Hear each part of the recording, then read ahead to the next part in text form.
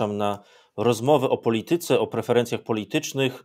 Czas bardzo gorący, kampania wyborcza na ostatniej prostej.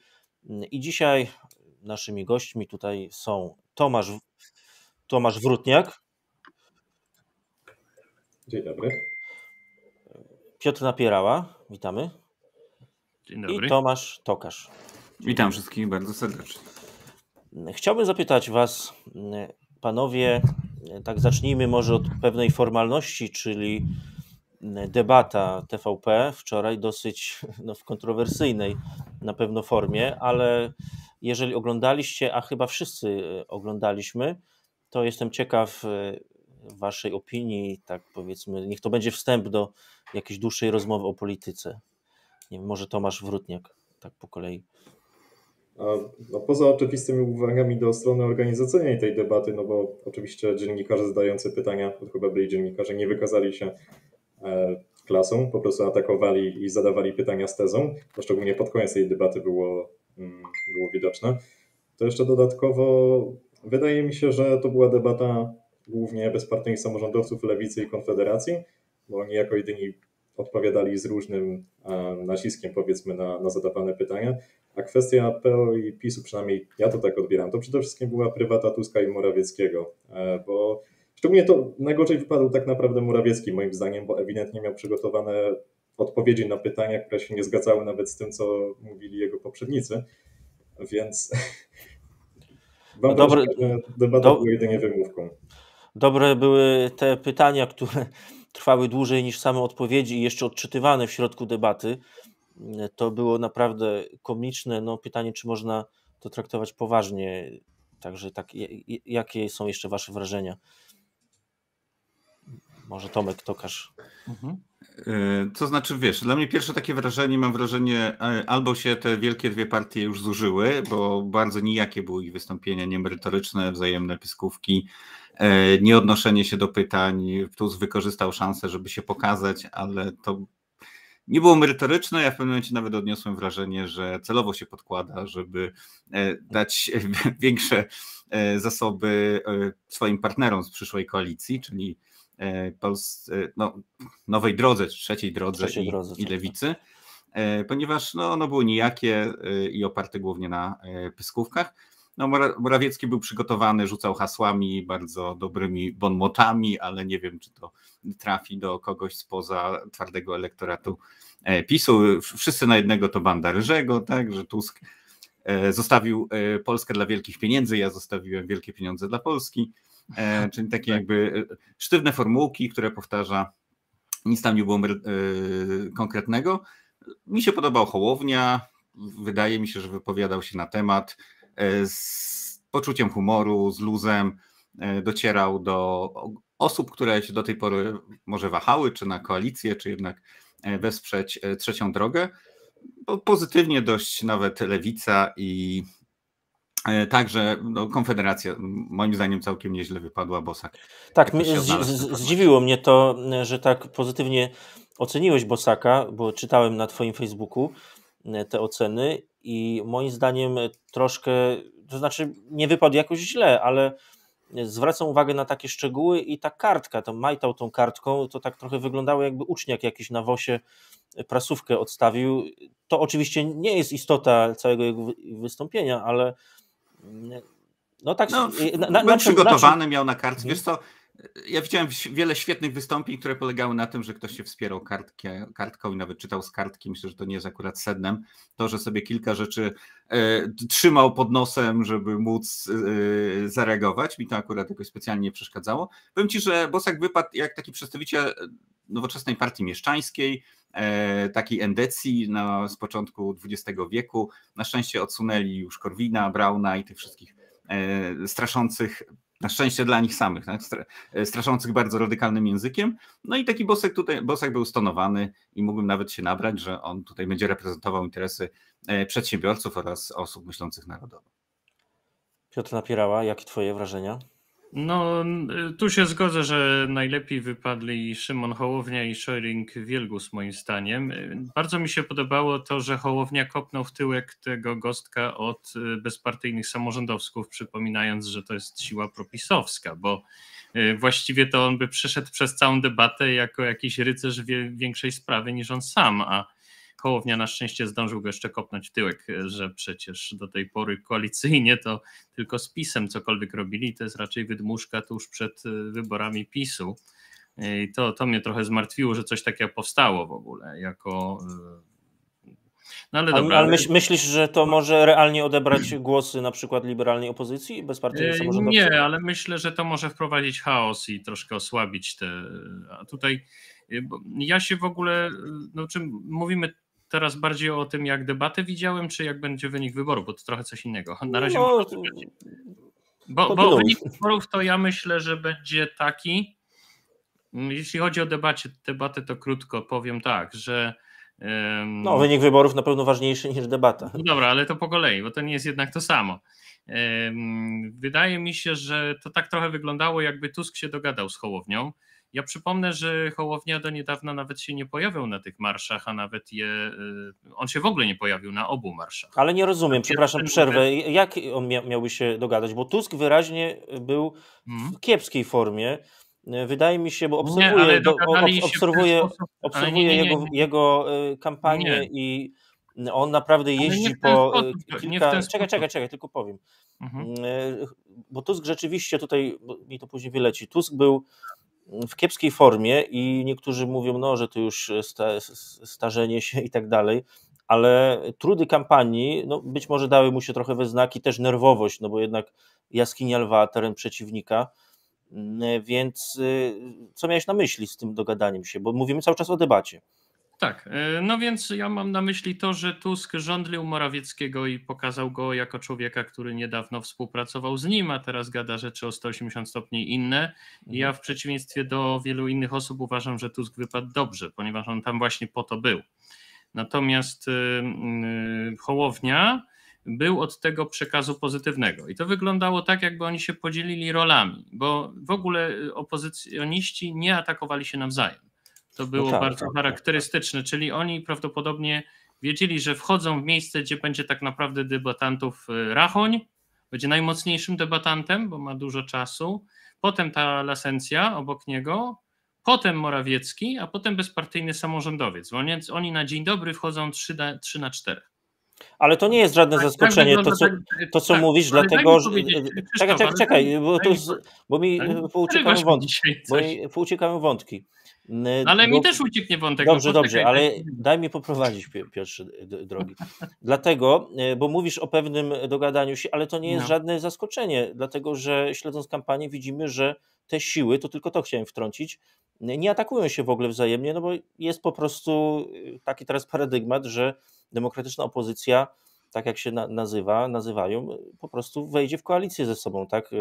Tusk, czy KO, Lewica i Hołownia, więc dziwne to by było, gdyby mieli się atakować na tej debacie, byłoby to bardzo zaskakujące. No, y, nikt tak na 100% przed tą debatą nie mówił, że Hołownia wejdzie do koalicji, tylko mówiono, że jeżeli już z kimś, to raczej z Tuskiem niż z PiSem. Raczej tak było. Poza tym, nie, nie, nie, tak nie było. poza tym Hołownia, no przez dłuższy czas tak było. Hołownia cały czas, zresztą cała partia nazywa się Trzecia Droga. No, różnie, różnie ludzie mówili o Hołowni.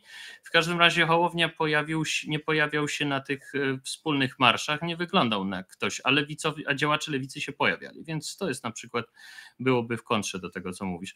Poza tym y, ja nie jestem zaskoczony tym, że oni zrobili ten sojusz. Ja tylko mówię, jak moim zdaniem ten sojusz y, w debacie został przeprowadzony. Czyli ja będę kopał Morawieckiego i przypomnę, że Morawiecki jest kłamcą, a pozytywny message to już wy. Tak to wyglądało i moim zdaniem taki był podział ról i to był dosyć dobrze e, przeprowadzony. Więc dla mnie to nie jest mhm. zaskoczenie. No, ja tutaj to możemy spisać e, trochę protokół rozbieżności, dlatego że śledząc tę kampanię e, od pewnego czasu, no od tej takiej ostatniej prostej, od nie wiem, dwóch tygodni na pewno, jeżeli nie więcej, widać wyraźną taką koncyliacyjność i w wypowiedziach Hołowni, w wypowiedziach Tuska. Lewica troszkę właśnie tutaj troszkę, trochę jest osobno, nawet zauważam, no oczywiście to może być moje subiektywne wrażenie, co po wyborach to zobaczymy, że no właśnie, że lewica jest trochę mimo wszystko taka gdzieś z boku, no powiedzmy, każdy chce być tą trzecią drogą, ale to powiedzmy może już pomijając temat debaty, bo jeszcze wiele rzeczy się zdarzy do wyborów, mimo że jest parę dni, to kampania wiadomo, że nabiera intensywności. Jakie są Wasze przewidywania na temat tego, kto wygra te wybory? Po prostu, czy PiS straci władzę, czy, czy nie? No proste pytanie. Kto pierwszy, ten lepszy. No takie trudne pytanie zadałeś, bo teraz będą nas rozliczać, jeśli źle trafimy, prawda? No na ile te sondaże są wiarygodne? No ja obstawiam jednak, że PiS będzie miał najwięcej e, procentów, e, tuż za nim będzie e, Koalicja Obywatelska i obstawiam, że wejdzie trzecia droga, nawet może całkiem niezłym wynikiem, i Lewica i razem oni uzbierają ponad 230 E, głosów i będą mogli e, rządzić. Nie, no, to jeszcze zależy od tego, co Duda zrobi w pierwszym kroku. Zazwyczaj pewnie tradycyjnie powierza się misję tworzenia rządu partii, która uzyskała największe poparcie, no ale nie sądzę, żeby im się udało e, to zrobić, no chyba, że nagle zwrot dokona PSL, bo pamiętajmy o tym, że jak trzecia droga wchodzi, no to wchodzą dwie partie tak naprawdę, które wcale nie muszą ze sobą ściśle współpracować potem w nowym parlamencie. Być może PSL tutaj z kilkunastoma posłami się skusi na jakieś oferty e, PiSu, ale wie, że wtedy byłby zjedzony. No ale różne tutaj warianty sobie e, obstawiamy, no i myślę, że pewnie z mojego punktu widzenia, bo ja nie jestem za bardzo lewicowy, dobrze by było, gdyby Hołownia i Kosiniak zdobyli więcej mandatów niż e, Lewica być może nawet będzie taka opcja, że powstanie rząd e, koalicji e, i trzeciej drogi z taką lekką sympatią, oczywiście kamuflowaną Konfederacji w tym aspekcie reform gospodarczych, no bo tutaj nagle trzecia droga wyrosła na taką partię, która jest tuż po Konfederacji najbardziej leseferystyczna i najmocniej stawia na przedsiębiorców, więc może tutaj akurat jakiś wspólny front E, między tymi dwoma ugrupowaniami też się e, pojawi. Więc jakby tak przewiduję, że jednak PiS będzie miał więcej, ale łącznie e, opozycja zdobędzie więcej mandatów. No to czekałyby nas burzliwe dwa lata w polityce. Do 2025 roku prezydent Duda, a tutaj rząd jednak liberalnej opozycji. To byłoby na pewno mhm. ciekawe, ale czy tak mhm. będzie? Zobaczymy. No sondaże w tej chwili no różnie, dają rzeczywiście, nie było chyba ostatnio jakiegokolwiek sondażu, który dawałby zwycięstwo Platformy Obywatelskiej, ale są sondaże, które dają minimalne zwycięstwo PiSowi i wysoki wynik oczywiście w koalicji, a także Lewicy i Trzeciej Drogi. Tutaj kluczowa jest Trzecia Droga, która jeżeli będzie miała poniżej 8%, no to wiadomo, nie wejdzie do Sejmu, dlatego że jest to komitet i potrzebuje 8%, a nie 5%. I przy tym układzie zwycięstwo PiSu no, byłoby bardziej intratne. Mogliby razem być może z częścią Konfederacji e, zyskać trochę głosów. No ale jak to będzie? Nie wiem, może ktoś z, Was ma e, inne zdanie, czyli przewiduje jednak wygraną PiSu, czy jednak nie wiem, uważacie tak jak Tomek Tokarz? Ja, ja widzę tutaj kilka zagrożeń. E, po pierwsze, jeśli chodzi o trzecią drogę i tutaj, czy oni nie pójdą e, w koalicję z PiSem, no to przynajmniej na tyle, na ile widziałem jakieś wystąpienia polityków trzeciej drogi, no to oni dość jasno zaznaczali, że oni nie są zbyt silnie związani ze sobą, w sensie Hołownia i PSL. W sensie oczywiście, że idą razem do wyborów, ale poza tą dosyć krótką i oszczędną listą wzajemnych wspólnych konkretów, e, to bodajże jest mniej więcej coś tak nazwane, oni nie będą prowadzić wspólnej polityki, e, jeśli chodzi o, o po prostu e, parlament. Więc tutaj jest faktycznie zagrożenie w postaci PSL-u, e, że pójdzie w koalicję prawdopodobnie na przykład z Konfederacją i z PiSem.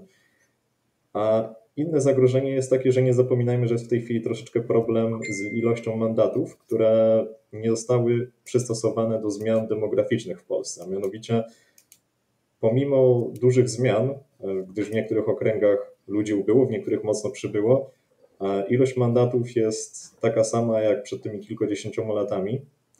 E, I to działa na niekorzyść Platformy Obywatelskiej, dlatego że te rejony, te okręgi, czyli, czyli duże miasta, w których zazwyczaj Platforma e, i jej przyjaznej, przyjaznej Platformie siły mają wiele głosów, no to to są te okręgi, w których siła głosu zmalała, dlatego że wyemigrowało tam sporo ludzi i to mówimy na przykład o jednym, czasami o dwóch mandatach. Z kolei no, wyjątkiem jest w sumie Rzeszów, to jest też jedyny, który nie jest taki peowski, a faktycznie zmalała tam siła mandatu. Natomiast cała ta Polska powiatowa albo mandaty mają taką, albo głosy mają taką samą siłę, albo ta siła wzrosła. Więc tutaj mamy właśnie też kwestię, że PiS po prostu uzyska troszeczkę więcej mandatów wynikających z tych zmian. A ostatnia rzecz jest taka, że nie jestem przekonany co do mobilizacji młodych ludzi. To na przykład dobrze było widać na przykładzie Koroluka. E, na Twitterze widziałem jego aktywności trochę, że za każdym razem, kiedy ktoś próbuje go podpiąć trochę pod KO, to on dosyć mocno ku temu protestuje i polityką KO, że oczywiście on kontruje Konfederację, ale on nie widzi na przykład e, KO jako, alternatywy dla Polski, jako, czegoś odświeżającego i nie jestem pewien, na ile taki pogląd jest powszechny wśród młodych ludzi, bo też może być tak, że młodzi ludzie nie są wystarczająco mocno nie zorganizowani, tylko nie są wystarczająco dobrze zmotywowani e, do tych wyborów. Więc to są takie trzy zagrożenia, które ja widzę, jeśli chodzi o potencjalną, potencjalną przegraną PL. Tutaj tylko wtrącę, zanim on tam głos y, Piotrowi Napierale, że młodzi ludzie, tak oczywiście pół żartem, pół serio, teraz mają y, kanały kognitywne zajęte wielką aferą Pandora Gate i tak się śmiają, że Konfederacja może na tym stracić, bo już Mencen nie będzie modny, tylko następny temat, ale to oczywiście tak żartując. Piotr Napierała, jestem ciekaw Twojej opinii. Y, ja tak trochę adwocem do Tomasza Wrutniaka. Y, Koroluk jest y, SLD-owcem, raczej lewicowcem, Zandbrygowcem, więc, ale to jest siła ewentualnej koalicjanta PO, więc ja trochę inaczej to widzę. Nie wydaje mi się też, żeby PSL chciał z PiSem, bo co mówił z kolei Tomasz Tokarz, dlatego że PSL został bardzo mocno obiedzony na wsiach przez PiS i e, raczej będzie chciał się zemścić. Poza tym zostało mu odebrane dużo miejsc, które wspierało dawniej PSL. Będzie się raczej chcieli, będą się chcieli zemścić. Poza tym PSL jest skrajnie proeuropejski. Warto o tym zwrócić uwagę. On jest cały wokół tych agro, dopłat i innych subwencji. A no, PiS jest de facto ultra antyeuropejski, dlatego że tak naprawdę nie uczestniczy w tej chwili w żadnych pracach tak naprawdę unijnych, więc w ważnych sytuacjach no, nie będzie tej pomocy dla Polski. Tylko dlatego, że jest pokłócony tych sędziów, więc w obecnej sytuacji działa trochę inna fizyka, mi się wydaje, i myślę, że PSL będzie grzecznie za Hołownią. Ja Hołowni tak do końca nie ufam, ale wydaje mi się, że on wie, że on, że, że on ma szansę tylko jako bycie konserwatystą europejskim, czyli nie konserwatystą ultranacjonalistyczno-świrskim tylko byciem y, konserwatystą y, zachodniego typu, że to jest jego jedyna y, szansa. Więc on musi być alternatywą do PiSu, a nie z nimi, więc ja liczę na jego rozsądek pod tym względem, taki zupełnie podstawowy, bo dotąd no to on to ja miałem wrażenie, bo, bo, bo tutaj mieliśmy protokół rozbieżności z Krzysztofem, jeżeli chodzi o lewicę i hołownię, bo ja patrzę na to w ten sposób. Lewica jest czymś zupełnie innym niż koalicja obywatelska, y, poza tym, że chce praworządności i standardów zachodnich. Y, natomiast Hołownia jest czymś bardzo podobnym jak PO a mimo to nie pojawiał się na tych marszach i tak dalej. Rozumiesz, w ten sposób y, patrzę. Na, na, okay, no ale okay. to tak, ale wydaje mi się, że rzeczywiście będzie wariant hiszpański, bo teraz w Hiszpanii mają dokładnie taki problem, że wygrało Partido Popular i ono może mieć tylko jednego koalicjanta, czyli Vox. To jest bardziej taki ich PiS niż taka ich konfederacja, ale coś tam, ale, ale coś tam będą mieli. Tylko ich tylko będą mieli, natomiast tamci mają tych koalicjantów więcej, bo mają i Sumar, czyli taką lewicę, Partido Socialista Obrero Español, czyli Partia Socjaldemokratyczna ma e, Sumara i jeszcze do tego ma Junts, czyli e, separatystów katalońskich. I jakby w, w, prawica nie może ich mieć, ponieważ Vox obraził wielokrotnie rząd, że taka partia w ogóle nie powinna istnieć. Więc y, też taka sytuacja trochę, prawda? Tu dwóch koalicjantów, a tu tylko jeden. I co z tego, że tych procentów partia prawicowa, ta główna, ma 2-3% więcej. Może być wariant y, hiszpański. To jest bardzo ciekawe, e, takie porównanie z Hiszpanią i w ogóle tego rodzaju właśnie rozmyślania i, i porównywanie. sytuacją w innych państwach europejskich. Tutaj mówimy o różnych konfiguracjach, ale wciąż w sondażach prowadzi Prawo i Sprawiedliwość i wszystko, czy wiele na to wskazuje, że dowiezie tę, to prowadzenie, niezależnie od tego, jaki będzie wynik pozostałych partii. Chciałbym Was zapytać, na czym się opiera po ośmiu latach to, że jednak cały czas Prawo i Sprawiedliwość jest pierwsze w tych, w tych sondażach? Czy jak, jak, to można, jak to można po prostu zdiagnozować?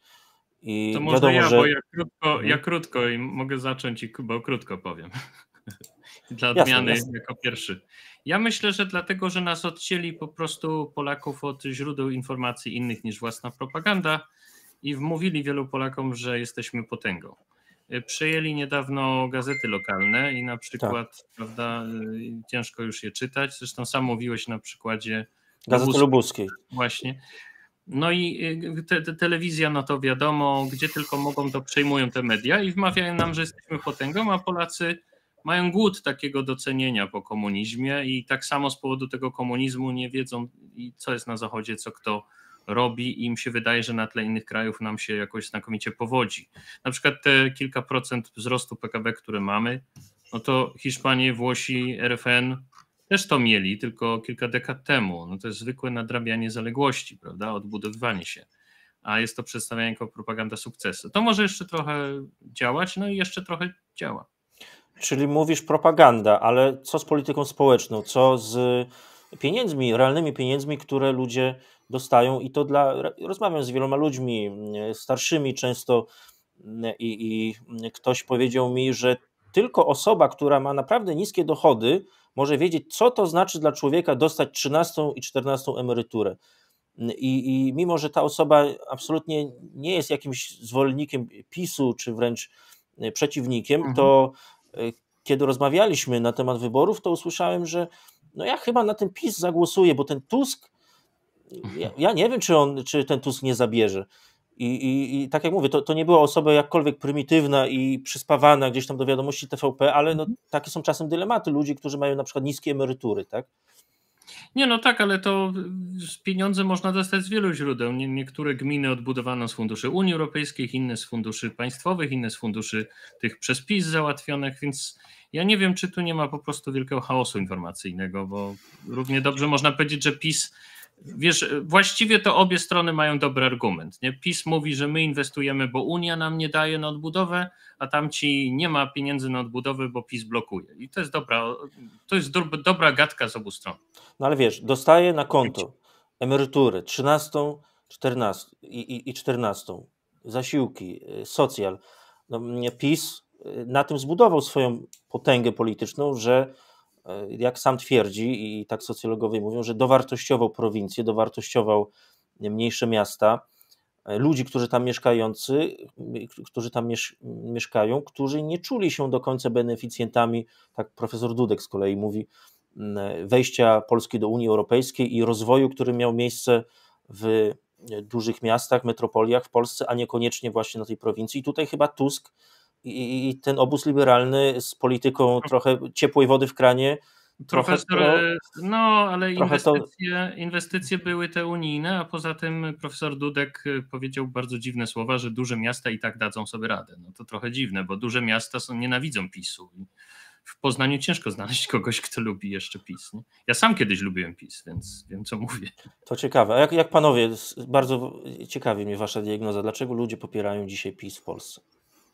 Słuchajcie, no dla mnie PiS jest po prostu prawie tym samym, choć oczywiście tutaj pewnie się narażę niektórym, co e, PZPR w 1989 roku. I ma mniej więcej takie same poparcie, bo jeszcze w wyborach w czerwcu 1989 roku, no przecież e, Zjednoczona Koalicja wokół PZPR miała te 35 E, procent poparcia e, społecznego. I właśnie opierała to na tym, że po pierwsze, oni długo już byli, więc wiadomo, czego się można spodziewać, a po drugie, właśnie na socjalu, na tym, że oni gwarantowali e, miejsca pracy, oni gwarantowali stabilność, oni gwarantowali no, te wszystkie zasiłki, które płynęły, czy się stoi, czy się leży, ileś tam się należy. Więc one byli postrzegani jako taka pewna partia stabilizacji. No ale zjednoczyła się opozycja i łącznie uzyskali te 75 65% poparcia i udało się PZPR pokonać. Ale jak sobie to popatrzymy, nie? że źródła prawa dalej leżą w ręku Komitetu Centralnego Partii, znowu jest, tak jak za PRL-u był przewodniczący Rady Państwa, który podpisywał wszystko, co przegłosuje parlament, który był zdominowany przez posłów PZPR-u.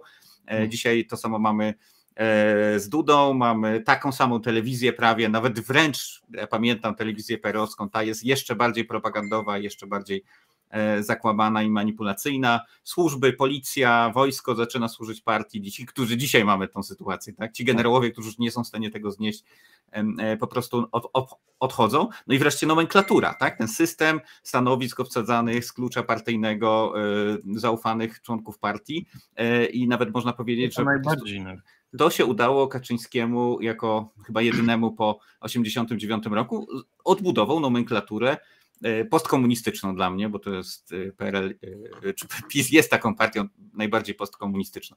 I na tym się opierają i myślę, że byli ormowcy i byli SBC to jest ten główny żelazny elektorat PiSu mimo wszystko. E, bo oni no jak to, ale przecież od... antyzachodni, antyunijni, tak jak kiedyś Tomku, ale zło, zło płynęło z zachodu. Nie? Pozwól, pozwól wtrącić e, tylko... Towarzyszenie Grunwald. Mm, bo przecież e, byłym pracownikom służby bezpieczeństwa, między innymi PiS odebrał emerytury, więc wątpię, żeby oni masowo głosowali na Prawo i Sprawiedliwość, wręcz są... No to, co mieli, wiesz, negatywnie bardzo pieniądze, co sobie wzięli, a myślę, że żyją teraz całkiem nieźle mimo wszystko E, I, ale ich ta mentalność taka właśnie partii autorytarnej, posłuszeństwa e, dalszym ciągu jest e, mocna. Tak mi się to wydaje. Tylko wtedy PZPR nie zrobił jednego ruchu, który by mu zagwarantował moim zdaniem jeszcze długo władzę. No nie był w stanie dogadać się z Kościołem, nie był w stanie stworzyć takiej partyjno-kościelnej koalicji, a to umie zrobić PiS, w związku z tym Tylko ko-. Kościół jest tutaj jego zapleczem. Kościół na tym nie stracił, bo Kościół się zamienił w tak. taką biczę PiSu trochę, kiedyś był mhm. czymś naprawdę szanowanym, a teraz chyba stracił na tym. Ja chciałbym e, powiedzieć, że. Pomóc dalej. Mhm. Że ta teza jest dosyć kontrowersyjna, na pewno za taką może być uznana PiS jako PZPR, aczkolwiek rozumiem podobieństwa strukturalne, ale substancjalne. Mentalne, ale trochę. Substancjalne trochę przez sporo też ludzi z PiSu to są byli jacyś prokuratorzy perelowscy, czy ludzie e, związani z PZPR-em. No jak tak popatrzysz, to tam jest dużo więcej niż na przykład w Polsce 2050. Zaryskuję tezę, że nawet więcej niż lewicy. W każdym razie etos taki solidarnościowy cały czas, czy postsolidarnościowy, gdzieś tam pobrzmiewa mimo wszystko w Prawie i Sprawiedliwości deklaratywnie. A to Tomek, Tomek Wrutniak, jestem ciekaw, co ty, na, co ty na to, co powiedział Tomek Tokarz i pewnie jeszcze masz jakieś swoje przemyślenia. E, tak, znaczy ja, ja osobiście nie, nie zgadzam się z tym porównywaniem PiSu do, do PZPR-u, bo mm, to jest trochę, trochę w pewnym sensie delikatnie może obraźliwe dla niektórych osób, które na przykład, na przykład popierają PiS z różnych powodów. No ale prawdziwe, no, wiesz, no ja nie mówię, że to obrażam czy nie obrażam. Albo no się nie zgadzasz i, mówi, i dajesz argumenty, albo mówisz, że to jest obraźliwe. Nie, nie właśnie jak chciałem podać Popierałem, bo wierzyłem w stawanie w kolan, ale zauważyłem, że tam nie ma realnej propozycji. Dobra, nie przeszkadzaj. Chciałem dalej podać te argumenty, że no, po pierwsze, jeśli spojrzymy troszeczkę tak historycznie, no to jeszcze PO sprzed rządów PiS to było troszeczkę inne PO niż jest teraz, tak? To było jeszcze PO bardziej balcerowiczowskie, bardziej wolnorynkowe. Polska wciąż zresztą jest państwem na dorobku, ale wtedy faktycznie żyło się jeszcze zdecydowanie gorzej niż teraz. E, Polacy byli po prostu dużo biedniejsi.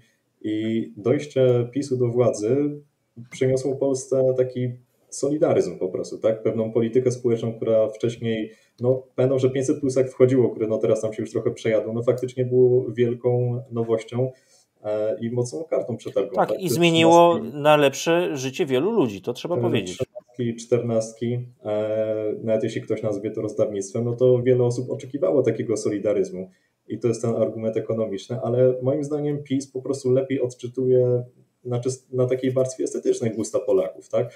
Dlatego że PO miało i w pewnym sensie wciąż ma taką troszeczkę opinię wśród ludu jako taka partia nieczułych elit, jako takich ludzi z zewnątrz, ludzi może powiedzmy no po prostu zdystansowanych od ludu. Natomiast PiS, on po pierwsze na tej warstwie estetycznej uderza w nuty, które my bardzo lubimy, czyli wielkie narracje, duma narodowa, e, ale jeszcze inna rzecz, no chociażby zobaczmy, jaki jest na przykład Ziobro, tak? mm, zawsze kiedy dzieje się jakaś medialna sprawa, zwłaszcza jeśli dotyczy ona jakichś ludzi, powiedzmy, takich, no w cudzysłowie, mniej uprzywilejowanych, ale nie tylko, tak? Jeśli się zdarza jakaś e, głośna sprawa, jak na przykład ten wypadek na A1, jak na przykład teraz Pandora Gate, e, no to zawsze pojawia się Ziobro jako taki ludowy trybun sprawiedliwości, tak? Że no, teoretycznie to nie jest potrzebne, żeby, żeby prokurator generalny no, no po prostu sam się nagle się tym zajmował, skoro no, prokuratura zwykła sama powinna to robić. No ale to jest jednak taki symbol, tak? Takiego strażnika ludu. I ludzie po prostu to lubią, tak? Czują, że ten PiS nie dość, że o nich dba, jeszcze jednocześnie, że ten PiS jest blisko ich serca, jakby tego nie powiedzieć, tak? To warto teraz zwrócić. E, to pasuje, tak... bo ludzie, bo Polacy są dosyć głupim narodem, więc pasuje. No, bez takich proszę tutaj inwektyw. Panie, panie doktorze, przywołuję do porządku. Ale ja zawsze tak uważałem odpowiednio otwarcie na moim kanale, ktoś musi powiedzieć prawdę. Tu akurat Mosak dobrze to zauważył, że on zauważył mocną zmianę estetyki znaczy zmianę narracji to wszyscy zauważyli, że z jednej strony, jeśli chodzi o koalicję obywatelską, czyli OPO, tak, że z jednej strony jest bardziej solidarystyczna, bardziej narodowa, ale też właśnie na tej, na tej, e, po tej stronie estetycznej, tak? No, to już mi się wymsknęło bez przypadek, że jest po prostu bardziej narodowa, tak?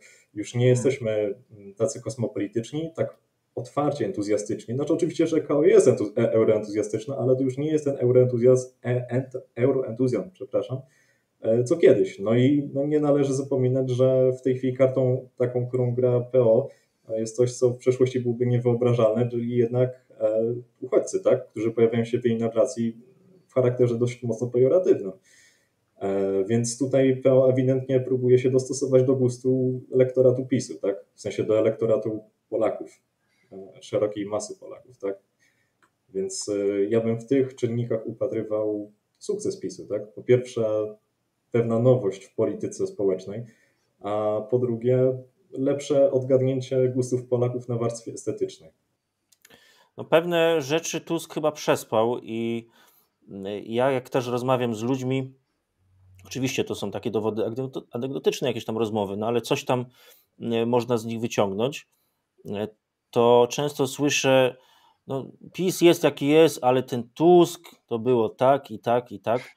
I y, mimo wszystko w, wśród wielu ludzi pamięć rządów Tuska nie jest najlepsza, wbrew temu, co może ktoś, nie wiem, kto mieszkał w dużym mieście akurat wtedy, czy studiował, czy, czy cokolwiek, mm, czy, czy cokolwiek robił.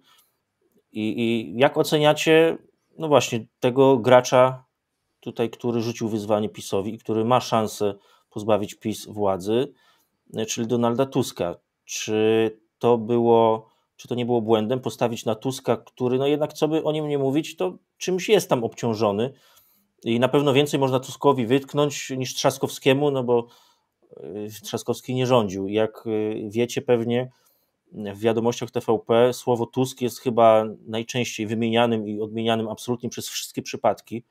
Teraz y, wiadomości stały się wręcz takim trochę program, programem archiwistyczno-historycznym, bo tam co chwilę puszczają, co tam było za Tuska. I, i no jak oceniacie właśnie postać Donalda Tuska, głównego rywala teraz Kaczyńskiego Jarosława? To znaczy, dobra, nie wiem kto pierwszy. Musisz nie, no, nie, mów, mów. Po kolei. Mhm. Kto pierwszy, ten lepszy, jak na razie. Dobra, to ja powiem króciutko, tym razem naprawdę. nie, nie wierzę. Wtedy mi, nie, wtedy mi wyszło, tego robiłem potem powrotki, ale postaram się nie robić powrotków. Powrotek. W każdym razie y, PiS się tak zachowuje, jakby, jakby świat się nie zmieniał. To znaczy, w tej chwili e, Europa Zachodnia też nie chce masowej migracji i nikt chętny nie jest do masowej migracji. No wystarczy zobaczyć, co Niemcy i Francja mówią o Lampedusie na przykład. Oni nie chcą się tym zajmować, te narody nie chcą się zajmować masową migracją w sensie pozytywnym i też widzą je w sensie negatywnym. Właściwie ja, ja nie, nie, nie, widzę żadnego kraju, który widzi w masowej migracji coś pozytywnego. To się wszędzie skończyło. Więc e, tu bym się nie, nie dziwię się absolutnie, że Tusk to też idzie, bo liberalne państwa, liberalne partie też są już przeciwko. Za dużo kłopotów z asymilacją, i tak dalej, więc to, to jest normalne, świat się zmienia, a PiS się zachowuje tak, jakby świat się nie zmienia, nie, nie zmieniał, czyli pokazują Tuska, który negocjuje z Rosjanami w 2009 roku, co wszyscy robili, cały świat to robił, ale to jest e, straszne, bo Rosja jest straszna teraz, w 2022 i 2023 roku, nie? I oni na, równie dobrze można, mogliby wyciągnąć footage i TVN powinien wyciągnąć footage, gdzie e, PiS 2005, 6, 7 też gada z Rosją i co? Chociaż przecież nie wolno. Mhm. Tomek, ja się odniosę do tego, że e, PiS no, zapewnił bezpieczeństwo socjalne, że żyje się bogaciej niż 8 lat temu. Oczywiście, że żyje bogaciej, tak samo jak w 2015 żyło się lepiej niż w 2007, a w 2007 lepiej niż w 2019. Ale nie było takiego socjalnego. W 1999 e, roku no, systematycznie, bo e, społeczeństwo staje się coraz bogatsze, e, prowincja staje się coraz bogatsza, mimo tego, co mówi lewica, to naprawdę no, środki biedy pra, pra, praktycznie e, zanikły. I to jest e, efekt działań różnych rządów i rządu SLD, przystąpienia do Unii Europejskiej, i rządu Platformy, który zbudował pewne fundamenty gospodarcze, z których korzysta teraz PiS. No i także PiSu, no ale PiS jedyne co robi, tak efektywnie, to rozdaje pieniądze, których sam nie zarobił, tak? No zadłuża, ma, są różne ukryte tutaj tak naprawdę można obliczać E, że to nie wszystko jest tutaj jawne, e, to realne zadłużenie wewnętrzne e, Polski. Zadłuża nas ogromnie, ogromnie i to stanie się podłożem katastrofy, jeśli zostanie zrealizowane nie, za granicą, trochę, na, nakręcając ogromne wydatki na zbrojenie, na czołgi, samoloty. To, jest, to są absurdalne wydatki, które nie da się wydrukować, bo to już będzie płacone w walucie obcej i moim zdaniem stanie się to zalążkiem ogromnego długu, które będzie dużo dłuższy, większy niż dług Gierka. Więc tutaj te, te posunięcia kompletnie e, irracjonalne, kompletnie nieobliczone na efektywne obliczenie, na co nas stać, e, powodują też zamieszania w armii, co widzimy dzisiaj, tak? No, nieakceptacja tej polityki e, PiSu w tym aspekcie jest, jest widoczna. Więc nie wiem, co takiego PiS konkretnego zrobił, realnego. Dał e, ludziom pieniądze, tak jak mówiłem. Widzę, no nie tego, swoje, tak? No, nie jest, ale, nie jesteś, ale nie jesteś w stanie tego docenić, e, tego ruchu, który został zrobiony, którego nie zrobił Tusk i nie, nie zrobiłby pewnie.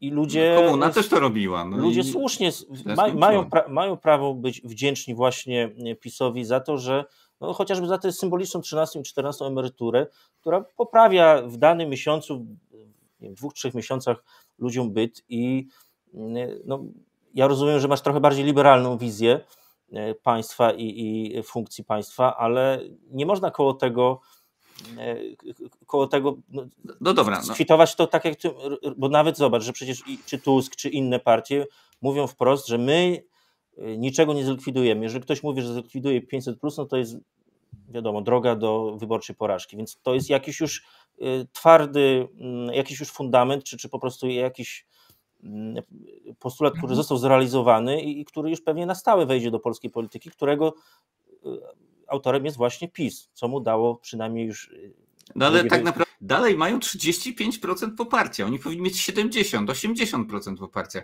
No przecież platforma, która, po której się jedzie, po której się obciąża wszystkimi winami, wszystkim złem, e, wręcz jest Tusk przedstawiany jako wampir, no depcze im po piętach tak naprawdę. Tam jest 5 punktów procentowych różnicy, a jak się doliczy jeszcze opozycję, to jest dużo, dużo więcej niż, niż PiS. Więc no, to nie jest tak, że jakieś masowe poparcie e, PiS teraz uzyskuje. No ma tę stabilną e, jedną trzecią elektoratu, co mówię, przy masowym rozdawnictwie i wydawaniu wszystkiego na wszystko. I tak moim zdaniem jest zaskakująco małą pozycją, nie dającą im możliwości samodzielnych rządów. No jak to? Ani... Przecież mają teoretycznie mają... stworzą tego. A armia, to... a armia też nie jest uzbrojona w jakieś game changery. No nic nie, bo armia się rozpada. Na gąsienicach to, to nie jest game changer. F, F-16 to był game, game changer, a kiedy to był? No ale zbroić się chyba musimy w obecnej sytuacji. Tak, ale w samoloty i rakiety, a nie w puszki na gąsienicach. No dobrze, ale... Systemowo razem w powiązaniu nie, z NATO. Nie doceniacie jednak e, tego, że PiS mimo wszystko, bo nie wiadomo jak się ułoży wynik wyborczy, że ma jakąś jednak, ale realną, bardziej. No, nie, ja, ja doceniam 500, na, plus, ale. Y, ale ma, PiS ma mhm. realną szansę, żeby rządzić trzecią kadencję w histor- z rzędu, co będzie oczywiście no, w, trzeci, w historii trzeciej RP czymś jeszcze niespotykanym i to w jakiejś mierze no, nie można tego zbyć i, i powiedzieć, a mogliby mieć 70%. Żadna partia nie jest w stanie y, takiego wyniku 70% mm, uzyskać, bo przecież po 8 latach no jest też zużycie wła, władzy, no władzy no tak, samej, zmęczenie władzą i tak dalej, i tak mhm. dalej.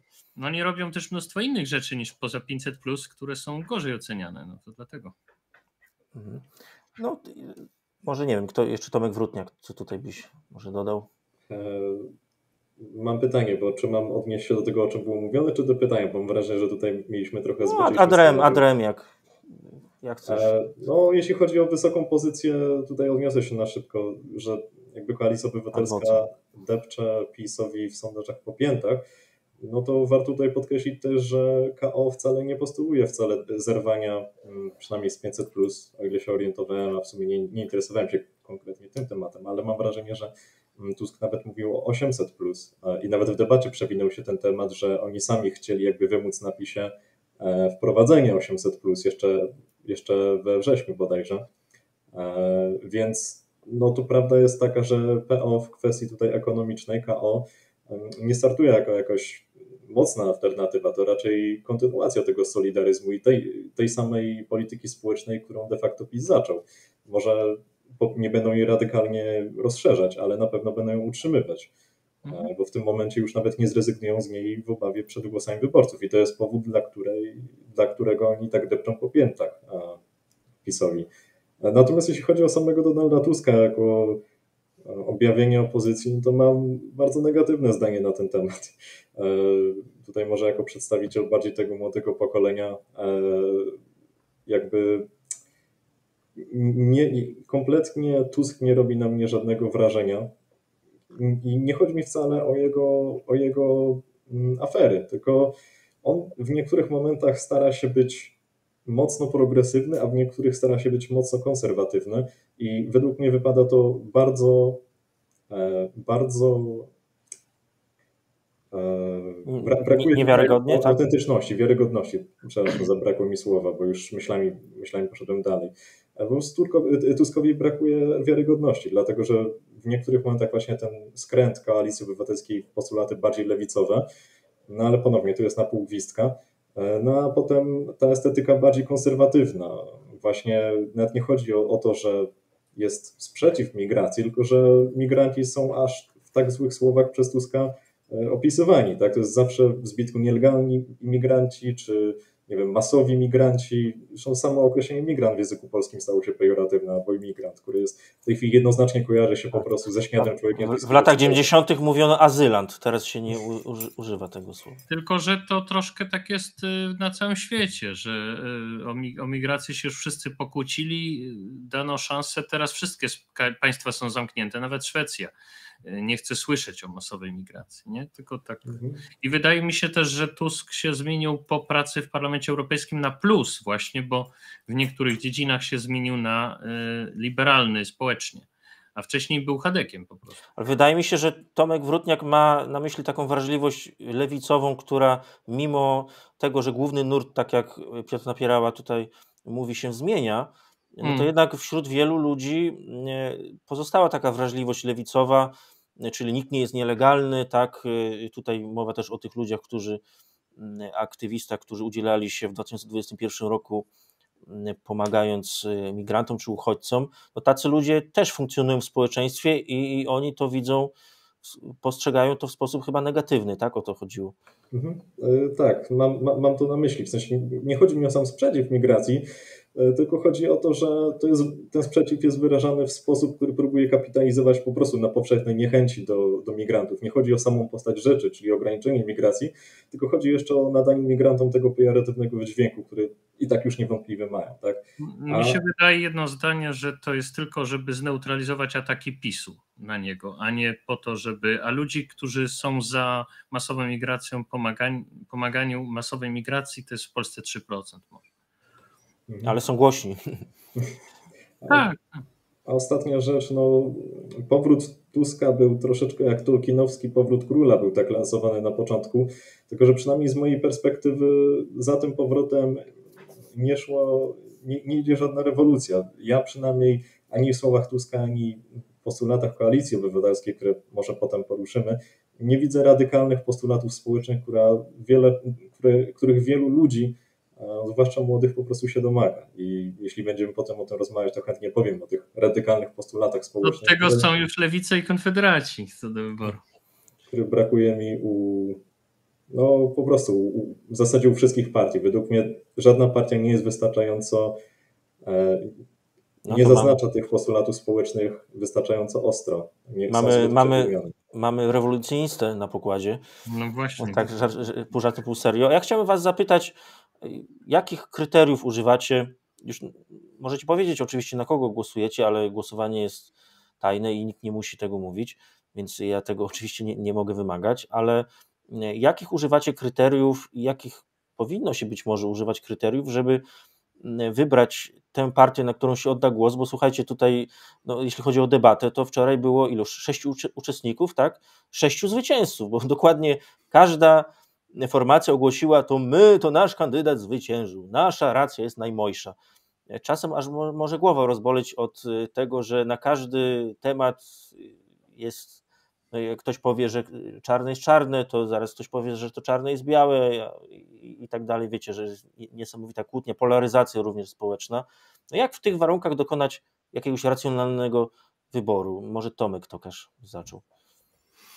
E, ja się tylko w dwóch zdaniach odnoszę, odniosę tutaj do komentarzy, które się no, pojawiają, jasne. mówiących o tym, że Keynesizm jest y, najlepszą teorią opisującą a, to tutaj na czasie. świat, a y, pieniędzy nigdy nie zabraknie. No jak się ma drukarkę, to nigdy tych pieniędzy nie zabraknie, ale są pewne konsekwencje. Konsekwencje są takie, że Polska ma jest w pierwszej trójce w dalszym ciągu o najwyższej inflacji, a nauczyciele zarabiają najniższą krajową i cała sfera budżetowa cierpi. Więc to nie jest tak, że można drukować w nieskończoność, tylko są po prostu tego realne konsekwencje. Oczywiście państwo nie zbankrutuje drukując własne pieniądze, ale jak się zadłuży w walucie obcej, no to już jak najbardziej, szczególnie jak będzie powtórka kryzysu paliwowego związanego z konfliktem na Bliskim Wschodzie. Czyli struktura długu, tak, też jest ważna. E, tak.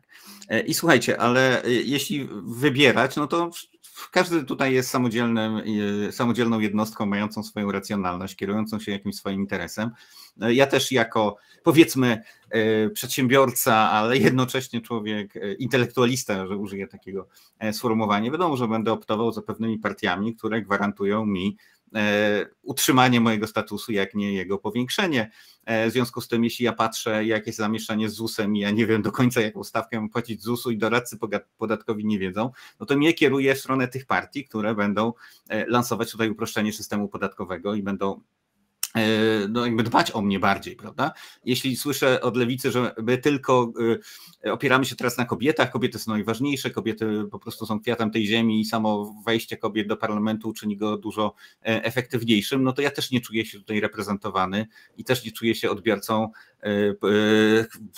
komunikatów politycznych lewicy. Więc jakby mi najbliżej jest do partii, które są umiarkowanie rynkowe, E, oczywiście nie jestem tu przeciwnikiem w tym momencie 500. Uważam, że racjonalna polityka redystrybucji jest e, mocno sensowna, natomiast no, kieruje się też oczywiście tutaj swoją e, racjonalnością i w tym momencie no pewnie Jestem tak po jednej trzeciej, bym nawet sympatyzował tutaj, wiem, że to zabrzmi radykalnie z Konfederacją, z, po jednej trzeciej z, z Koalicją Obywatelską, jednej trzeciej z Hołownią, natomiast no jakby tutaj dbając o to, żeby jednak trzecia droga dostała się do parlamentu, no poważnie rozważam mm, oddanie swojego głosu nie w moim miejscu zamieszkania, bo mieszkam w dużym mieście, tylko po prostu wycieczkę w niedzielę do jakiegoś e, okręgu e, bliskiego e, i wybrania kogoś z trzeciej drogi. Natomiast jeszcze jestem tym wyborcą, który do ostatnich momentów pewnie się będzie zastanawiał nad trzecią drogą i koalicją obywatelską, kierując się z własnym dobrze pojętym interesem.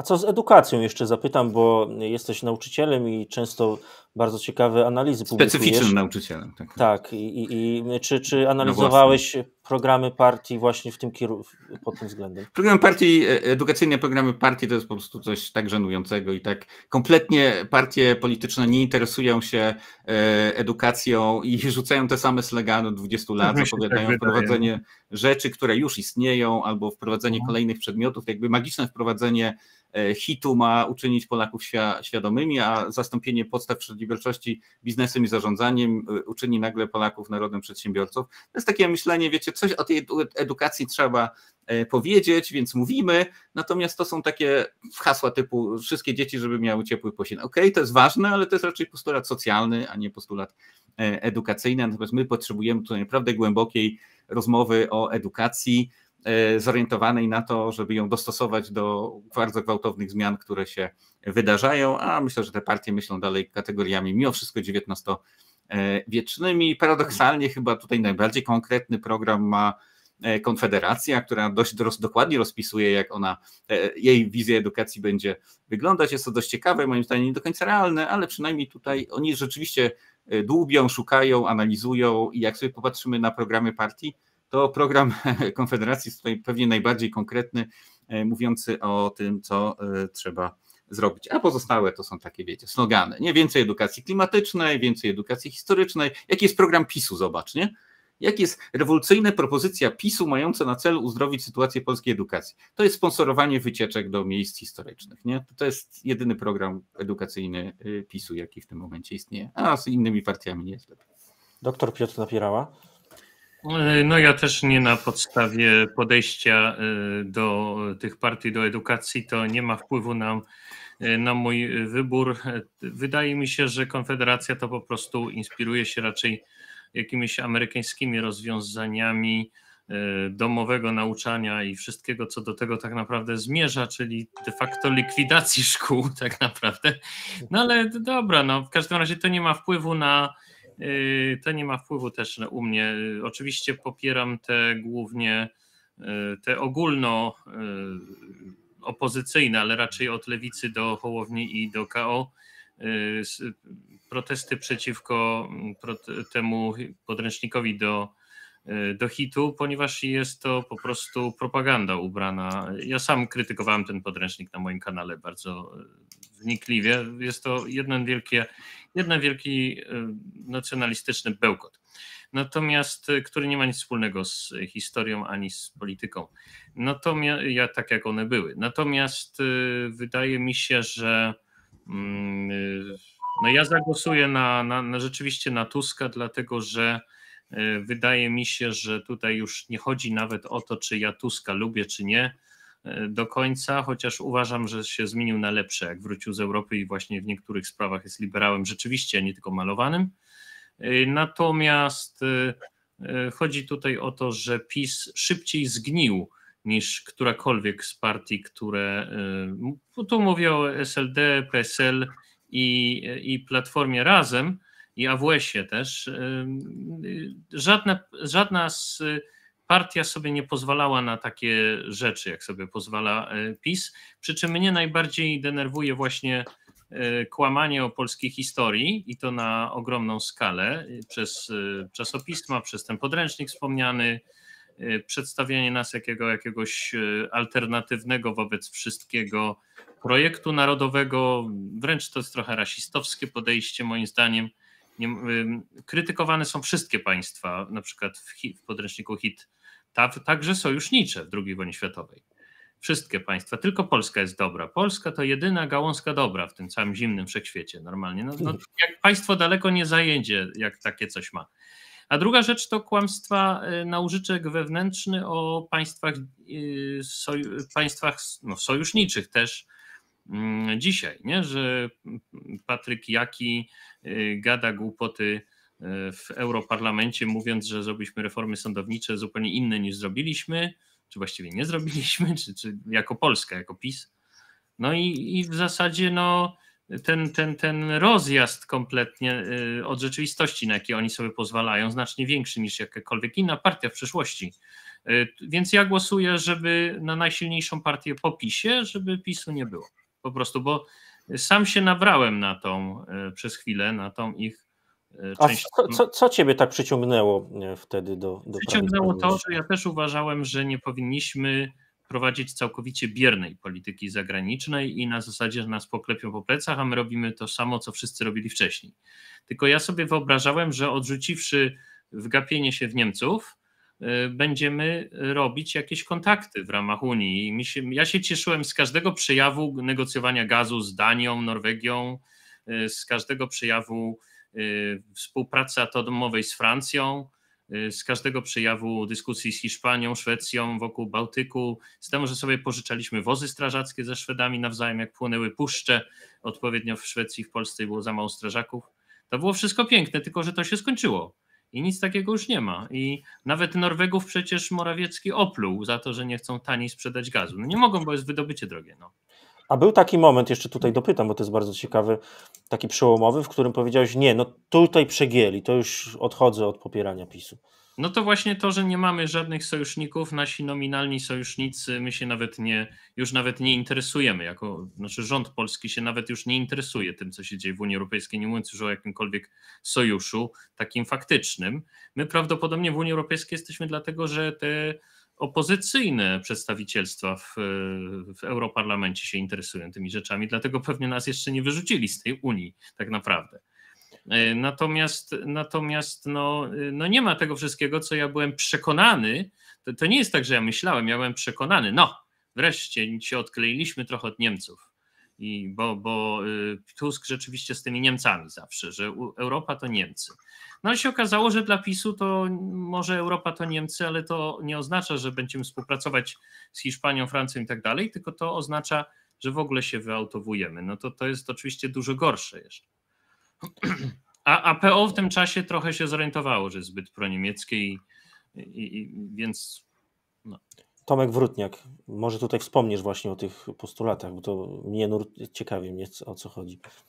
Tak, więc e, znaczy no na początku, bo to w sumie skoro teraz mówimy, na jakiej zasadzie podujemy decyzje mm, wyborcze i ogólnie co, co nami kieruje, no to oczywiście powiem tutaj akurat nie od tych radykalnych rzeczy zacznę, tylko od tych nieradykalnych, czyli no na pewno na przykład w systemie mm, podatkowym, w systemie ogólnie finansowym przydałoby się sporo uproszczeń, na przykład bodajże trzecia droga chyba postuluje coś takiego, żeby e, podatek od faktury płacić dopiero w momencie, kiedy przyjdzie nam e, płatność, bo w tej chwili, mm, jeśli ktoś nie jest zainteresowany, jest coś takiego, że jeśli ktoś, ktoś nie zapłaci przedsiębiorcy za faktury, to on i tak musi nie zapłacić podatek na przykład, tak? Mhm. E, więc to jest bardzo ciekawa sprawa, to jest wiele, wiele, wiele usprawnień, które w tej kwestii można byłoby począć. Na warstwie estetycznej zdecydowanie jestem mm, kosmopolitą, bardziej mam też liberalne poglądy społeczne, jeśli chodzi o stosunki społeczne, stosunki ogólnie też międzyludzkie, e, ale jeśli chodzi o te radykalne postulaty społeczne, których ja bym się domagał od którejkolwiek partii, którejkolwiek partii politycznej e, i tutaj uprzedzam, że wiem, że niektóre partie polityczne mają te rzeczy w swoich programach, ale tutaj jeszcze na, na wstępie powiem, że te rzeczy albo nie są wystarczająco radykalne, chociaż czasami są, ale dużo częściej jest coś takiego, że one po prostu nie są wystarczająco uwydatnione w programie, że no jest gdzieś tam zapisane w programie, ale gdzieś tam, gdzieś, gdzieś tam rzecz, która tam sobie siedzi, że jak zapyta dziennikarz, no to, to się odpowie, że jest coś takiego w programie. A mianowicie, po pierwsze, rewolucja w stosunkach państwo-kościół, rewolucja polegająca na tym, żeby stosunki państwa z kościołem wreszcie odwzorowywały realia państwa, w którym około 30% ludzi praktykuje tą religię, czyli po pierwsze zerwanie z finansowaniem teologii, z finansowaniem uczelni, y, kościelnych uczelni, zerwanie z finansowaniem kościelnych muzeów, e, zniesienie funduszu kościelnego.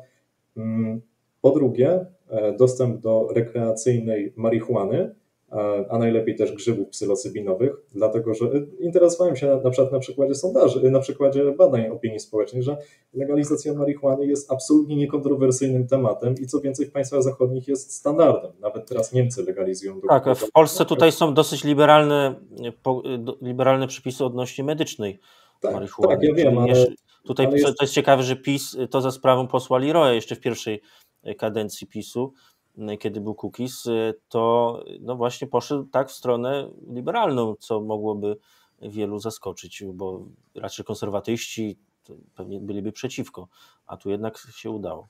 Mhm. Jeszcze oprócz tej warstwy finansowej relacji państwa-kościół, to jeszcze oczywiście jeszcze warstwa estetyczna, czyli, czyli koniec z państwowymi obchodami mszy, koniec z udziałem, e, czynnym udziałem księży e, czyniących powiedzmy posługę religijną w trakcie, no właśnie, na przykład różnych państwowych wydarzeń.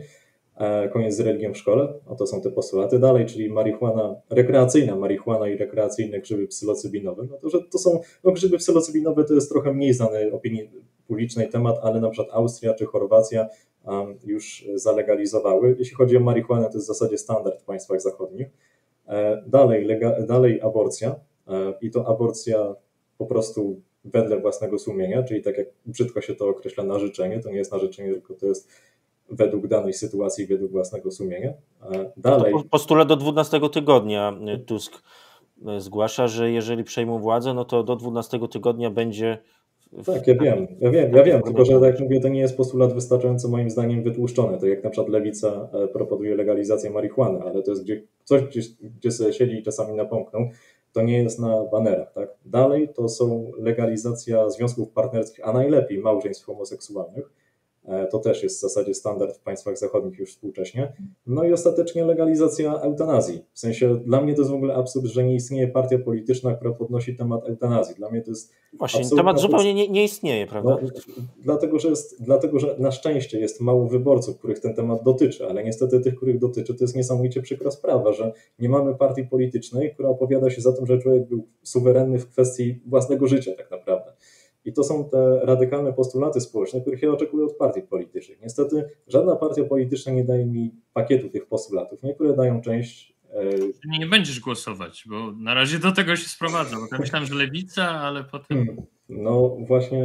Na mniejsze zło może zagłosować. Dążę do tego, że mm, punktowo, a jeśli chodzi o punktowo, bym miał sobie tą wykreślankę tych postulatów zrobić i punktowo wyliczyć, to prawdopodobnie lewica punktowo tutaj wzbudza moje największe emocje, Natomiast oni mają mnóstwo reszty dziwnych e, postulatów, jak na przykład refundacja antykoncepcji z NFZ-u, co jest dla mnie w ogóle postulatem kuriozalnym, e, jak i wiele innych, więc no, lewica po prostu nie ma szans na mój głos raczej. E, I stoję w tej chwili przed wyborem jakiejś, którejś, której z pozostałych partii opozycyjnych, której no to już pozostawiam powiedzmy słuchaczom do własnej oceny na podstawie tego, co powiedziałem. Ciekawy bardzo. Czy ktoś tak już, już zmierzamy do końca, ale czy ktoś chciałby coś dodać? Może Tomek Tokarz tutaj jakieś swoje postulaty? Ode, ode mnie powiem, że no, mówi się, trochę się mówi, ale nie aż tak dużo o mieszkalnictwie, bo to jest też e, bardzo duży problem taki społeczny dla młodych ludzi. Jest teraz kredyt 2% wprowadzony E, co oczywiście z jednej strony ułatwia dostęp do właśnie kredytów hipotecznych i do mieszkań, do kupna mieszkań, ale też przez to poszybowały ceny e, tychże mieszkań i ceny wynajmu. Tutaj e, powiedziałeś o lewicy. Lewica ma ciekawy postulat budowy. Oni też w Austrii byli tam parę tygodni temu i z Austrii zaczerpnęli program budowy takich państwowych mieszkań, ale nie jakichś tam powiedzmy ruder socjalnych, tak brzydko mówiąc, ale z prawdziwego zdarzenia, tak jak to zrobiono w Austrii, to są ciekawe przykłady i tu się dzięki temu trochę o tym dowiedziałem. Ale nie wiem, no, ten temat kościoła też ciekawy.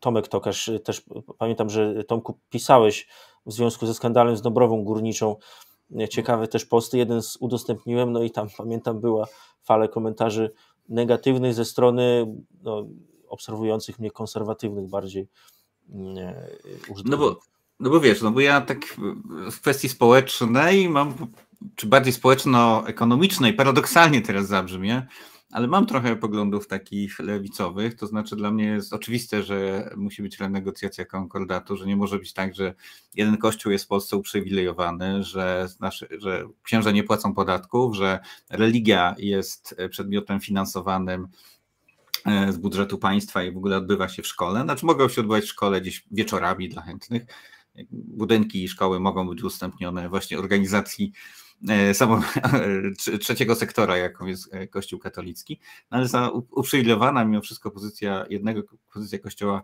e, jest czymś, co mnie mocno drażni. No i też nie, nie oponowałbym tutaj przeciwko postulatom tego budownictwa socjalnego, gdzie państwo jest właścicielem mieszkań i one są wynajmowane, czy, czy samorządy są one wynajmowane za przyzwoitą cenę, bo te, postu, te koncepcje i te wdrożenia, które realizuje PiS czy poprzednie partie też, obniżenia mm, kredytów stopy procentowej, no jednak windują ceny mieszkań w górę i to nie jest rozwiązanie, na które stać słabiej zarabiającego Polaka, bo jego zdolność kredytowa tutaj nie będzie pozwalała na E, wzięcie, wzięcie kredytu, szczególnie przy wysokich stopach procentowych. E, no, w, innych, w innych kwestiach e, lewicowych to też jest pomysł do finansowania mm, komunikacji, która by docierała do autobus do gmin, pociąg do każdego powiatu. Myślę, że to są też te koncepcje lewicowe, które bym się, e, z którymi bym się mógł utożsamić. No, taki progresywny program lewicy e, zorientowany, tak Wołkis to się nazywa, to, to nie jest coś, co jest mi najbliższe, natomiast no, jak najbardziej e, myślę, że konieczne stanie się legalizacja związków partnerskich, legalizacja w tym takim znaczeniu, że mają one podobne prawa jak Związek Kobiety z mężczyzną, jest możliwość dziedziczenia, jest możliwość odwiedzenia w szpitalu, jest możliwość przepisania e, bez e, podatków na tą najbliższą e, osobę. Myślę, że są rzeczywiście postulaty dość charakterystyczne dla cywilizowanego europejskiego świata i tutaj nie ma co nad tym dyskutować. No i oczywiście to jest, co mnie bardzo boli, uproszczenie systemu podatkowego, bo w tym szczególnie rozliczenia VAT-u to jest coś tak absurdalnego, że głównie E, i uczynić bardziej przyjazne e, zwykłemu obywatelowi, który chciałby prowadzić własne e, przedsiębiorstwa. I tutaj jeszcze jedną rzecz zwrócę uwagę, bo rzeczywiście PiS mówi się, że dużo wprowadził socjalu, ale ten socjal, zobaczcie, on jest ukierunkowany głównie na świadczenia pieniężne. Tu nie ma jakichś takich systemowych rozwiązań wzmacniających budżetówkę. I tu nauczyciele są klasycznym przykładem, ale też wiele innych służb. E, mimo wszystko biurokracja w Polsce jest jedna z najniższych w Europie, mimo tego, co mówi Konfederacja, i tutaj taka sensowna, mądra biurokracja, dobrze zarabiający urzędnicy, to też jest inwestycja w kapitał państwowy. I tutaj też przydałaby się taka racjonalna polityka, bo ja nie jestem przeciwnikiem sensownego inwestowania e, w tkankę społeczną, tylko nie na zasadzie rozdawnictwa i kupowania sobie głosów, tylko rzeczywistego przemyślenia, w jakie branże inwestujemy, które grupy E, wspieramy i żeby to było dobrą inwestycją w, do funkcjonowania całego społeczeństwa. Tutaj trzeba by było się realnie nad tym e, zastanowić, jak wzmocnić e, te instytucje, które odpowiadają za dobre funkcjonowanie państwa. Czy jakiś adwocem Piotr Napierała? No, czy tutaj ktoś w czacie napisał, że Polska ma tak skonstruowane miasteczka, że ten pociąg mało pomaga, bo ludzie są tak rozrzuceni po miasteczku, tam 5 tysięcy mieszkańców zamiast skupień wokół centrum. Y, to jest trochę prawda, bo ja teraz, jak wiecie, siedzę w tych hiszpańskich sprawach. Hiszpania ma wielokrotnie mniej miejscowości niż my, bo ona jest pusta w środku. I tam jest tak, że tylko pewnymi kanałami są te y, miasta jakby uszeregowane. Łatwiej jest do nich zrobić transport niż u nas. A jest coś takiego, że w wielu krajach y, takie małe miasteczka trochę wymarły po prostu i, bo ludzie pojechali pracować w trochę większych i, i liczba miasteczek się po prostu zmniejszyła. U nas się to nie dokonało, więc tak do każdego y, miejsca dotrzeć tą komunikację, to mi się wydaje, że to jest trochę fikcja. Może jakoś tak na tej zasadzie, że prawie albo coś takiego. No nie wiem, wydaje mi się, że to może być trudne do, do zrobienia. Jednak sobie y, przypomniałem, y, że y, miałem takie wrażenie, jak Szojring Wielgus była jedyną kobietą w tym E, adwocem do tych spraw socjalno-społecznych w, w tym, na tej debacie, to ja sobie tak pomyślałem, że w zasadzie to jest taka trochę naturalna rola partii lewicowej, żeby była taka bardziej trochę kobieca, no bo kobiety nie lubią wojska, tam wolą, żeby były właśnie przedszkola i tak dalej, żeby był ten standard na co dzień lepszy, prawda? To jest taka dosyć naturalna sytuacja, mi się wydaje. Mm, a tutaj zauważyłem u co najmniej, e, no właściwie was wszystkich takie zdziwienie trochę, że, że tak to się trochę robi, że partia lewicowa jest, e, w, no na przykład e, w partiach zachodnich, no też najwy, naj, najwyżej jakby kobiety zabrną zawsze na stanowiska kierownicze w partiach lewicowych. Partie lewicowe zawsze były takie troszkę, żeby się opowiedzieć, a to za imigrantami, a to za tymi, którzy teoretycznie przynajmniej mają gorzej i mogą ulec jakiemuś tam dyskryminacji. Więc dla mnie to nie jest partia, którą ja wybiorę, ale ja się cieszę, że taka też jest i I mi, mi się nawet podoba to, że lewicowa partia jest taka właśnie kobieca, a ja bym tego Czarzastego bym im już dawno wykopał i na, na miejsce właśnie kogoś innego. Jak jest lewica, e, ta, ta jedna lewica i SLD, to e, bym od, obdzielił Nowacką i Szojryk-Wielgu z tymi obiema lewicami, a Zandbergowi i Czarzastemu już podziękował mi się wydaje, że to jest krok w dobrym kierunku. Zandbergowi Mogę też? dwa zdania, tak? y, jasne, jasne. Dwa, dwa krótkie zdania polemiczne, ale tylko w historycznym ujęciu. E, Lewica, zobaczcie, ona głównie była partią mężczyzn, była partią e, robotników e, i tam, gdzie partie socjalistyczne były najsilniejsze, to też te prawa wyborcze dla kobiet były stosunkowo późno przyznane. Po raz pierwszy we Francji kobiety głosowały w 1940 1944 roku, już po, po obaleniu e, rządu Petena, do tej pory kobiety we Francji nie miały głosu. A w Wielkiej Brytanii, jak kobiety dostały prawa głosu, to e, znaczy, jest taka teza, że do lat 70., gdyby kobiety nie miały głosu, to we wszystkich wyborach wygrywałaby Partia Pracy. Bo jednak się okazywało, że kobiety bardzo często głosowały na partie katolickie, na takie partie tak. chadeckie e, i też jakby w Polsce wprowadzono w 1918 prawa wyborcze kobiet i tutaj jednymi z bardziej zwolennikami była Narodowa Demokracja, bo oni byli przekonani, że Polki to są katoliczki, pójdą do kościoła, ksiądz im powie na kogo głosować i w związku z tym narodowcy będą mieć duże poparcie. Więc to się może teraz zmieniło, że partie lewicowe odwołują się do kobiet, bo były tradycyjnie męskie. No nie, ja bym powiedział, że kiedyś partie to w ogóle były męskie wszystkie, a kobiety były kwiatkami do kożucha w każdej partii. Natomiast y, w tym y, we Francji na przykład, czy w Hiszpanii, w Hiszpanii na przykład kobiety poszły do głosowania y, pierwszy raz w 1931 roku i to też przychyliło trochę w prawo. E, no i e, tam rzeczywiście była taka dyskusja, że o Jezus, kobiety są bardziej katolickie. W Polsce to właściwie takiego ryzyka nie było, bo u nas wszyscy byli za bardzo katoliccy. Mężczyźni też, my jesteśmy krajem, e, który jest dosyć bardzo dziwnym krajem katolickim, bo w każdy normalny kraj katolicki wygląda tak, że faceci idą grać w karty i to tak od XIX wieku jest, co najmniej i wcześniej faceci idą grać w karty, a baby idą na msze. No tak, a dziady grają w karty. A my jesteśmy zupełnie jakimś efemerydą, gdzie mężczyźni też klęczą na kolanach i też mężczyźni... Tak, ale Polska też jest... sukienkowcom mówić, co mają robić. Także to jest trochę inna fizyka. Tak Pols Polska jest e, notabene najbardziej sekularyzującym się krajem, jednym mhm. z, naj, z, naj, z najbardziej na, na świecie te procesy są u nas mhm. E, mimo wszystko dosyć natężone. A co do mm, obecności kobiet, no to ciekawe są sondaże, które czasem są prowadzone. No i kobiety i... też pracowały w fabrykach, o tym też trzeba zapamiętać, no w włókiennictwie i tak dalej. Te sondaże, które pokazują, jak wyglądałaby scena polityczna, jak wyglądałyby wybory, gdyby tylko kobiety głosowały, albo tylko e, mężczyźni. No na przykład Konfederacja, o której dzisiaj tak wiele nie mówiliśmy, może i dobrze, bo były programy też poświęcone bardziej e, tej formacji, to by się ucieszyła z tego, gdyby e, kobiety nie głosowały, a lewica by się ucieszyła, mm. gdyby to kobiety tylko głosowały. No ale na szczęście mm, powszechne prawa wyborcze są i niech tak zostanie. No ja chciałbym tak na koniec Wam podziękować za ciekawą bardzo rozmowę. E, tutaj takie się ujawniły liberalne, ale też i socjalne tendencje. Ja trochę z E, uwagi, żeby dyskusja nie była taka jednostronna, to broniłem partii rządzącej. E, no zobaczymy, co tam się stanie i no, niech wygra lepszy. Bardzo Wam dziękuję. Dzięki wielkie. Dzięki. Krzysztof, planujesz karierę w PiSie? Zależy od wyniku wyborów. Nie, oczywiście żartuję. Zapraszam jeszcze widzów, jeżeli ktoś chce dołączyć, to do Discorda na, na głosówkę, tak gdzieś za 20 minut możemy zrobić, także link dam w opisie. Do zobaczenia.